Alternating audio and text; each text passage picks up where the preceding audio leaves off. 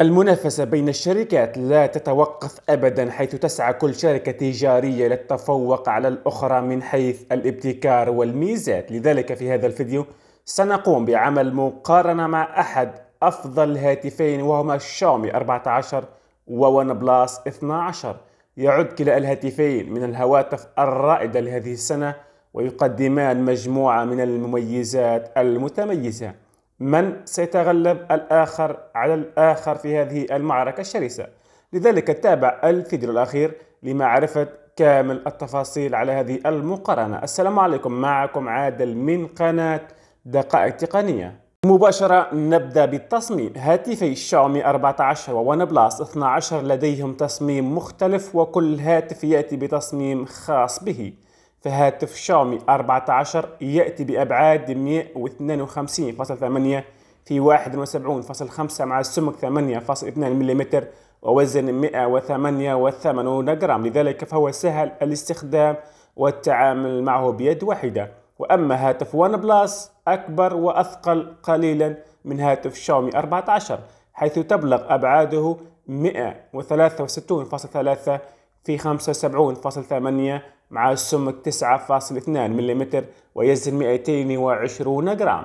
كلا الهاتفين لديهم تصميمات مميزة صراحة حيث يتميز هاتف شاومي 14 بظهر زجاجي وإطار معدني ويتبعه أيضا هاتف OnePlus 12 ببنية مماثلة عالية الجودة.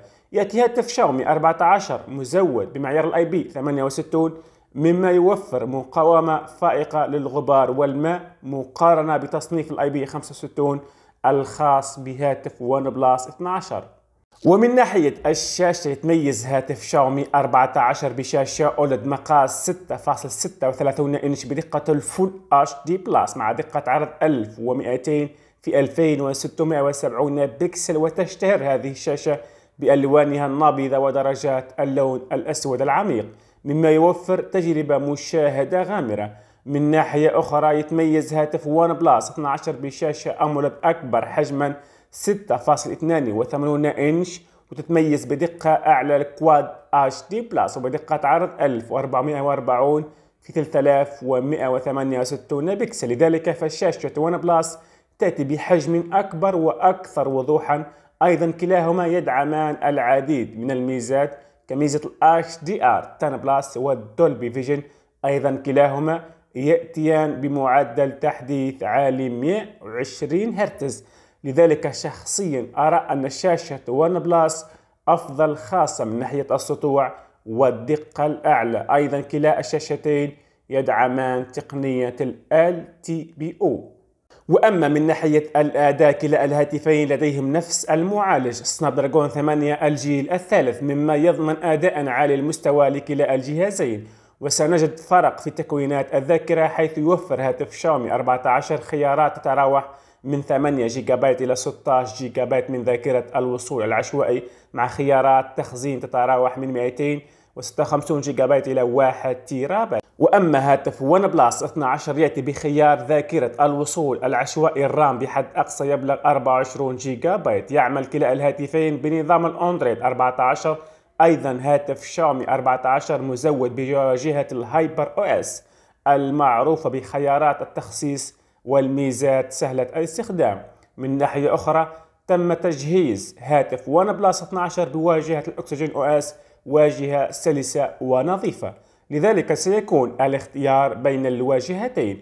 أيضا يأتي كلا الهاتفين بميزات مثل ال 5G ودعم بطاقة ال SIM المزدوجة ويدعمان ال eSIM والشحن اللاسلكي العكسي. صراحة كلا الهاتفين راح يقدموا أداء عالي وتبقى التجربة الفعلية هي الحكم. أيضا عمر البطارية يعد أمر بالغ الأهمية للمستخدمين.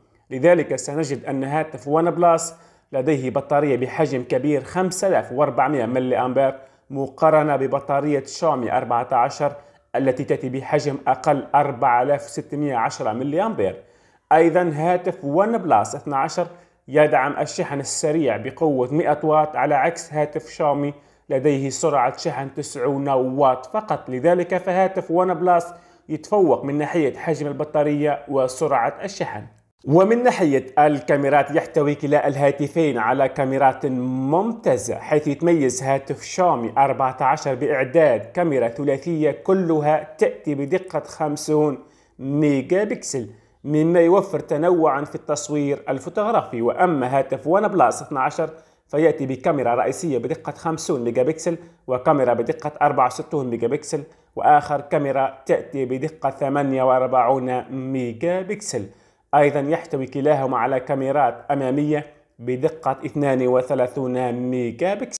أيضا كلا الهاتفين يصوران الفيديو بدقة ال 8K وال 4K وال Full HD صراحة كلا الهاتفين راح يقدموا كاميرا ممتازة وهنا يجب أن تختار ما بين ألوان ال Hasselblad التي تأتي مع هاتف OnePlus 12 أو ألوان شركة ال Leica التي تأتي مع هاتف شاومي 14 وأخيرا نأتي للسعر. فهاتف شاومي 14 يبدأ بسعر 550 دولار وهذه النسخة الصينية أي تقريبا 11 مليون. وأما هاتف ون بلس 12 يبدأ بسعر 600 دولار تقريبا 12 مليون. لذلك سيكون الاختيار في التفضيلات والأولويات الفردية. إذا كنت تفضل جهاز أكثر احكاما وخفيف الوزن مع جودة بناء قوية ومقاوم للماء فهاتف شاومي 14 يعد خيارا ممتازا. وأما إذا كنت تميل نحو شاشة أكبر وعمر بطارية فائق فقد يكون هاتف OnePlus 12 هو الخيار الأفضل. أيضا سواء اخترت هاتف شاومي 14 أو OnePlus 12 فستحصل على هاتف متميز. وراح يقدم لك تجربة ممتازة. وفي الأخير ماذا تختارون؟ هاتف شاومي 14 أو هاتف OnePlus 12 رجاء. شاركونا رأيكم في التعليقات دمتم في رعاية الله وحفظه.